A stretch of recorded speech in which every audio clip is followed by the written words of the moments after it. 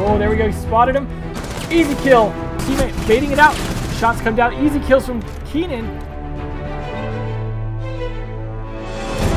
And there he goes. C4 from below it. There we go. There's the play. Try to fight as many as he can. Does take down one. Wadu on a start.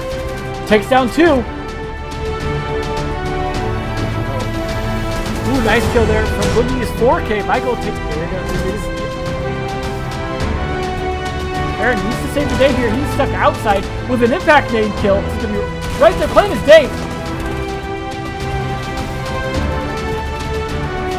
Is traded back by Madman. Madman's gonna find two more.